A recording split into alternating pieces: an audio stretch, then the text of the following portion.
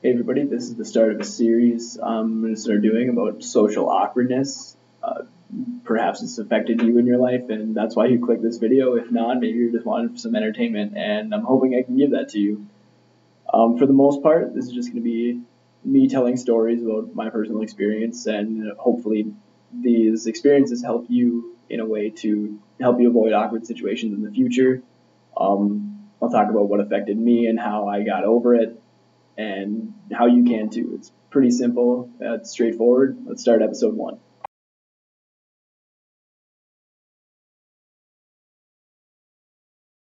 Alright, so episode one is called brain farts. Obviously, you know what a brain fart is when your brain completely just cuts out and you have no idea what to do. Most of the time, for guys, this happens when you're talking to an attractive girl and you you kind of enter this state, which I like to call the flirt or flight response. So it's kind of like the fight or flight, but in a much different context. During the flirt or flight response, you would hope for the best and hope that you could go up and talk to this attractive girl, but let's be honest, that's not always going to happen. the last time I had a flirt or flight response was actually just a few days ago, and that's the reason I started doing this series. So I was walking down the hall at school, and I saw this girl that I kind of sort of knew. I didn't really know her name at the time, but we we had seen each other before. So she smiles and waves at me. And so, being the person I am, I consider myself pretty friendly. I smile and wave back. But I had the worst brain fart I've ever had. So after smiling and waving, I felt so incredibly awkward because I didn't know whether it was okay to go say hi. So I turned around and walked the other way. It's not my proudest moment, but it definitely happened. Now I'm going to admit my situation is not by any means typical. Most people would be able to have the confidence to go and start strike up a conversation. But I'm for some reason my brain just shut down, and it can happen to anybody. Now you might be asking yourself, how can I avoid brain farts? Well, I'll be honest with you, it's pretty simple actually. You just have to remember an acronym. C C C C R. Now, a simpler way to say it is just quad CR. One of my best friends told me about this. So, the first C is cool. Now, what I mean by cool is just literally keep your cool. Just chill, and you'll be fine. The second C is calm. So, it works really well with cool because if you just keep your calm, keeping it cool, it's really easy to just strike up a conversation.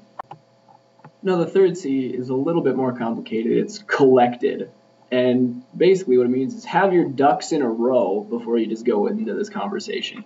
It's really easy to think you can just go in flying blind, and I'm going to tell you, it's not. That's the easiest way to get a brain fart is to go in with your thoughts just willy nilly everywhere. No, you really need to have yourself kind of plan out your conversations. It's it's easier if you plan your conversation a little bit in your head, practice around, practice with a friend, practice with a mirror. It's not that hard.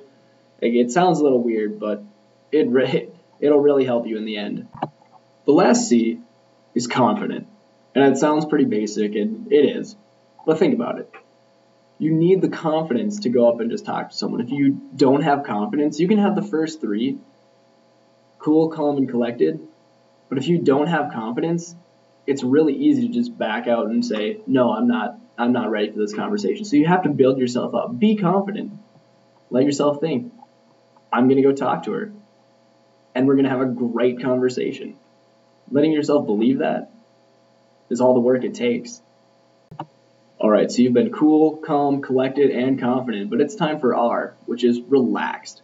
Once you go up and talk to her, it's really easy to relax because once the ice is broken, it's really quick to just jump into a conversation because really, like, it, for any age. So let's say you're in high school and you see this new girl that you haven't talked to, and you just, hello, introduce yourself. Like, how are you doing? How are you liking the school? You know, what kind of classes are you taking? In college, it's even easier because odds are if you screw up, you won't see her again. So in college, it's really easy. You can just walk up to someone and say, hey, how you doing? Like, I'm so and so. How are you liking school? Like, what kind of classes are you in? What's your major?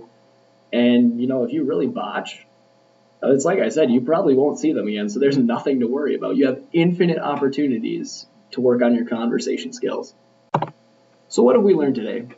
Well, let's think about this. We've learned that brain farts are kind of the killer of social situations with socially awkward gentlemen.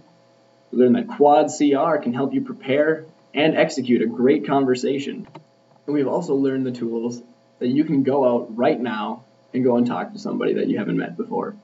So I'm hoping this video helped you. Um, like, comment, subscribe. I'm going to be doing these for a while. So I'm hoping you liked it. Um, leave any kind of feedback on my channel or anything. Let me know. Um, thanks for watching. I'll see you guys next week.